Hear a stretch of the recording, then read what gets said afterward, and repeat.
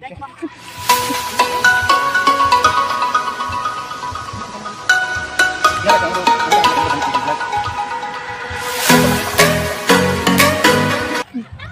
everyone! Good morning, good morning, good morning! Welcome back to my YouTube channel! Guys, bago pa po kayo sa akin channel, please don't skip my ads and don't forget to like, share, and comment sa videos para madami na tayo guys. Please, please, wag niyo pong i-skip yung mga ads natin. Thank you, thank you so much! So, ayun guys, for today's video, no? Yung mukha natin parang mandami ng mga mga sumpa. Ang dami ng sumpa guys because ayun, maraming mga iniisip.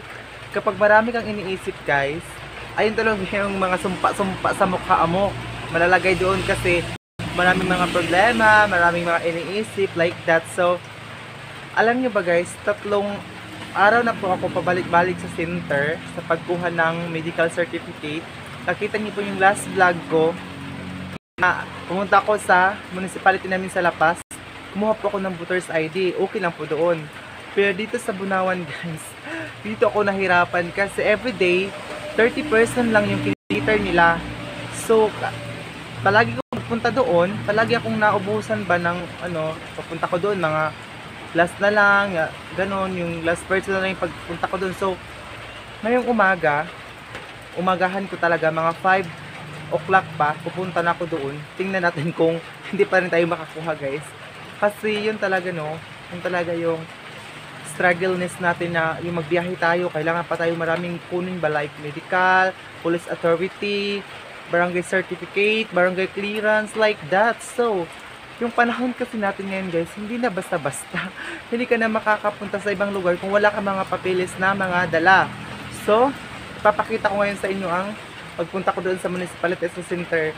Sana panoorin niyo ito guys. Tapos pupunta ko ngayon sa bahay ng kapatid ni Ate Eileen sa But oh, Butuan, hindi sa Butuan, sa Bayugan City guys. Iwan ko lang kung makakapunta ko kasi ang lakas talaga ng ulan oh. Super, super lakas ng ulan. So tingnan natin kung makakapunta tayo doon. A few minutes later. Hey everyone, good morning, good morning. And nandito po rin ako sa Municipality of Bunawan kasi guys, kukuha muna ako ng ano, travel pass at saka medical certificate kasi nakakuha na ako ng valid na municipality namin sa Lapas kaya nandito naman tayo sa Bunawan kasi dito ako nag-aaral kukuha tayo ng guys na, napakadaming requirements talaga kapag magbibiyahe guys. Ito ang napakahirap ng sitwasyon natin ngayon. Tas mahirap na nga tayo. Meron pa tayo marami pa tayong babayaran ng mga requirements. So pupunta ako ngayon sa municipality o sa munisipyo sa office nila kasi babaya magbayad ba? Kasi kailan meron tayong babayaran na yung medical certificate. Ayan punta muna tayo doon. Yung face pa nila oh dito. So punta muna ako ngayon doon sa municipality nila gahanap naman doon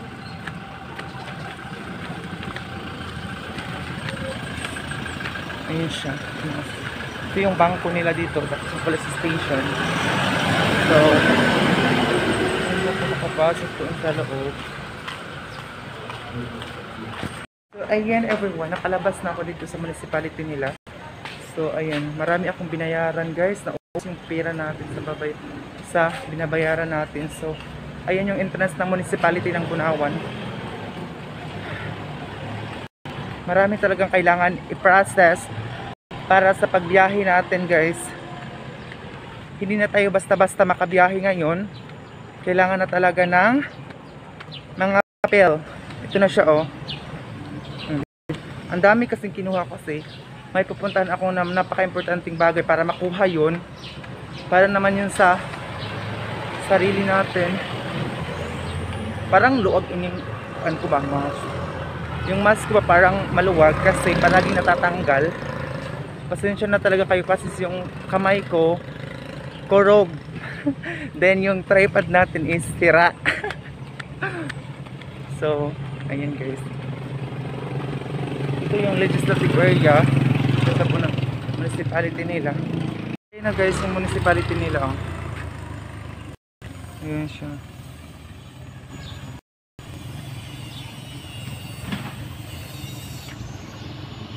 so ayan Doon ako kanina o doon. Doon ako sa taas kanina. Ayan siya o, di ba?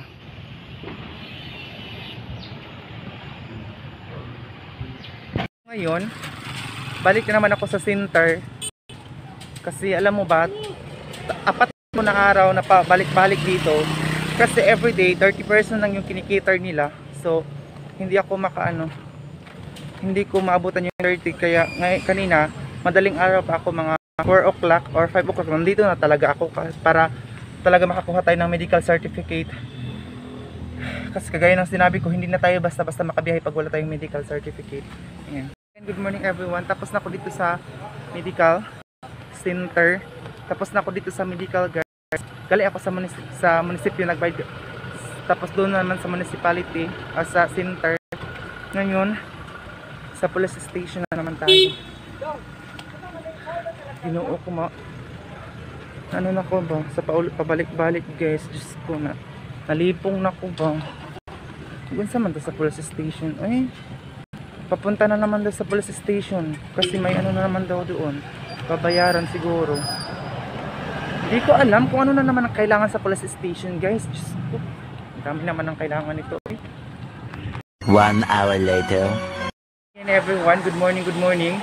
Papunta na ako ngayon ng Bayugan City. Kapakita ko sa inyo mga dala ko. Ito siya oh, may pack bag tayo. And then, may ganito. Ayan, ito yung daing. Tapos yung mga papilis natin guys. So, ito yung pack bag. Tapos, ito yung jacket natin. Isa lang kasi yung jacket ko guys. So, ayan. So, pupunta na ako ngayon sa kalsada ngayon kasi maghintay tayo ng van or bus Ginoo ko malakas pa naman ng yung ulan. Tika muna kasi magkakalo tayo ba kasi super lakas yung ulan. Mamaya na lang. Super lakas ng ulan. Ayan, tika lang muna. Nakuha na po yung mga requirements na nakuha ko na yung requirements so kailangan ko na magbiyahe. Hi everyone, good morning, good morning.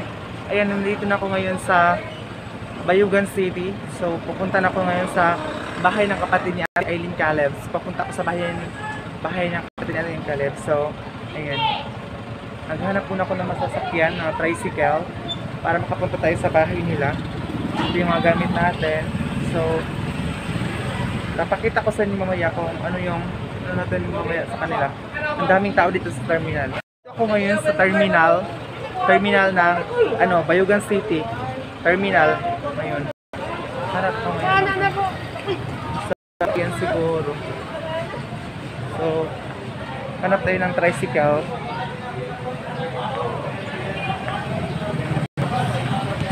Guys, nandito, yan terminal oh, terminal, terminal ng Bayan City.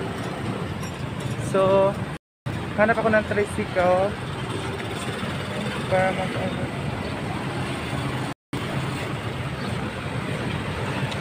dito na ako ngayon sa terminal. So, meron silang bangko. Charot. Nasa ba tayo?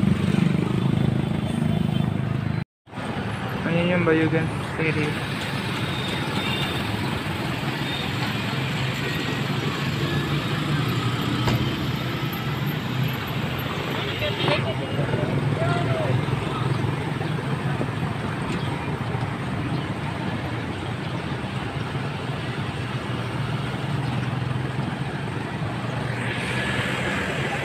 Guys, mayroong mga pagkain dito sa likuran ko. Gusto ko sanang bumili.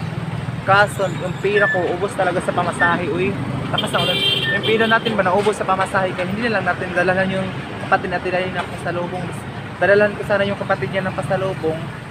Pero wala tayong pamasahe. Wala tayong ano, pera. So, punta na ako doon guys. Nato tayo ng tricycle. Ayan guys punta na ako ngayon. Ito na yung sasakyan natin ngayon. So, ayan. Sa iglesia daw kuya, tapos sa dalawa nila sa likod sa iglesia, pasulod. Kanang pababa daw ang kalsada. Painti ba niya? Sige, ayan. Ayan, so, na tayo guys. You're riding in Dobao. So, punta na ko ngayon sa bahay ni Ate Aileen. O, sa kapatid ni Ate Aileen. Ayun guys, sa wakas, nakaabot na rin tayo dito. Nakasakay na rin ako. 2,000 years later. Everyone, good morning, good morning. And nandito na po ako sa boarding ah, apartment sa kapatid ni Ate Eileen Caleb. So ipapakita ko sa inyo ang mukha ng kapatid ni Eileen Caleb, si Ate Dimdim. So ngayon, dito ako sa kanang apartment at dito sa kanang kwarto. Then, ayun sila oh. Ayun sila kasamaan. Ate, gino. Uba na ni Sira. Ayun sila yung mga kasama niya. Ayun sila. Tapos yun yung kapatid ni Ate Eileen. Hi! Yun siya. Tapos, yung anak niya oh, nagdodo na. Bakit na dudo? Ano, Tanawa diba? na, mali na noon ko.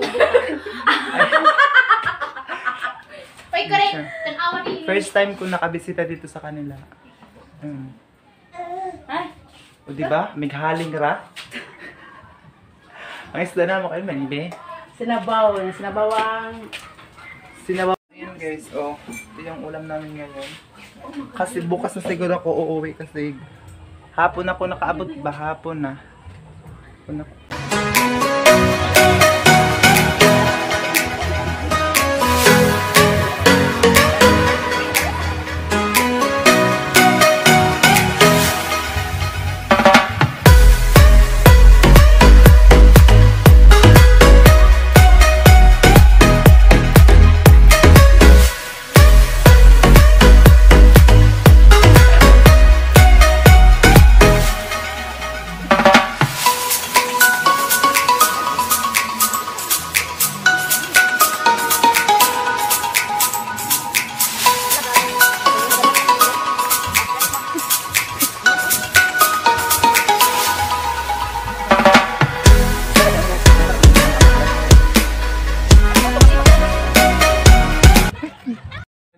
Yun sa kwarto ng kapatid ni Ate Irene siya po. Pinapadidi po yung bata. Hala, Sige na bang bata? Pinapadidi po yung bata. Tingnan natin kung makla- maklaro siya. At ginoo pa din um, diba? Ayan siya yung baby. Oh, di ba? Wow! Ang puti na ni baby. Oh, di ba? Yan siya yung kapatid ni Ate Aileen. Oh, di ba? Di kay tumit na naman chismis. Ayan, oh. Ayan, oh, di ba? Yung baka nasa sa una pa pangansaon. Mm. Yan, Pero pero at ang ko ko sinagabi kahayang. Mm siya. And then, yan sila, oh, nandito sila sa kwarto nila. Hindi pa Hindi ba, yun yung kapatid. First time ko kasi guys, nakabisita sa kanila. Hindi ka layo. Sa in. First time ko talaga nakapunta dito sa kanila guys. Patagal na sana itong plano, pero dahil sa mga protocols like that, mga struggle ni sa buhay natin, dahil sa pandemic, hindi tayo nakapag punta agad dito na may importante pa naman tayong kukunin. So, thank you, thank you so much din na nakapunta rin tayo na safety and yan, nakapunta tayo dito sa bahay nila. Hi everyone, good evening, good evening. So, ayun, napakahirap pa talaga pag walang ilaw dito sa kwarto. Ah, yung ilaw ba na, nasa taas, pag madilim na. So, ayun guys, thank you, thank you so much guys sa safety and protection na nakarating ako dito sa Bergen City na safe po ako. And then, kahit malakas yung ulan, kahit napakaraming struggle na na-encounter ko guys, kasi alam mo na, yung maraming naubos yung pera natin, lahat-lahat yung mga expenses natin kasi nga guys, marami tayong binayaran ng mga papel para tayo makabiyahe. And then, napakalakas talaga ng ulan kanina, nagbiyahe pa rin talaga ako kasi guys, matagal na talaga tong gusto kong magbiyahe kasi napaka-importanting bagay itong kukunin ko dito sa Bayugan City. Napaka-importanting bagay ito na kailangan kong kunin. Kaya pinorsige ko talaga na makapunta ako dito sa Bayugan City. And bukas na bukas ng umaga ay uuwi din ako sa apartment namin sa Bunawan, Busan del Sur. And then hindi naman ako magtatagal ito one night lang. Kasi kailangan ko talagang makuha. And iwan ko lang kung makuha ko yun bukas. Tingnan lang natin guys. I-update ko na lang kayo kung makuha ko yung kailangan kong kunin dito. And then thank you thank you so much guys for always watching my vlog. And then sa mga bago pa po sa akin channel huwag niyo pong kalimutan mag-subscribe. And then don't forget to click the notification bell para ma-update ka sa aking mga videos. And don't forget to like, share, and comment.